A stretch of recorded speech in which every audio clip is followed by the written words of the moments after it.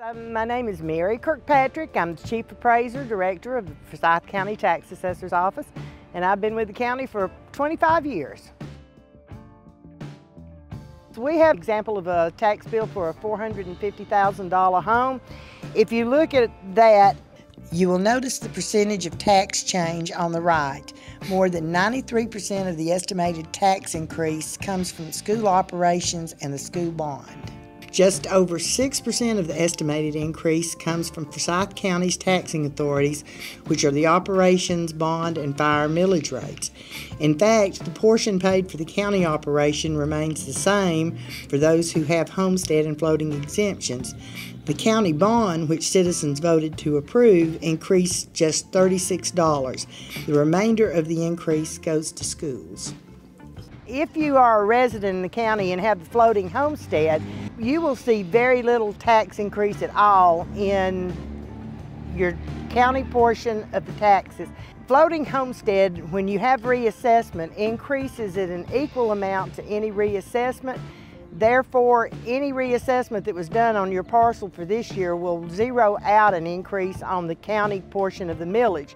It would only affect the bond, which is a very small portion of the tax bill. Well, property assessments are readily determined from the market. The uh, buyers and the sellers are setting the values in the real estate market right now. Um, we have certain standards that we have to meet from the Department of Revenue. We have guidelines to um, appraise property by and standards we have to meet to get an approved digest. And everything we do comes from the market. It is the buying and selling that's occurring out there right now that is where these values are being generated from. The assessments are determined by state law. There is a certain level of assessment we have to be at and we take that from the market and then apply the standard set by Georgia state law. Any taxpayer can file an appeal if they disagree with the value of the property.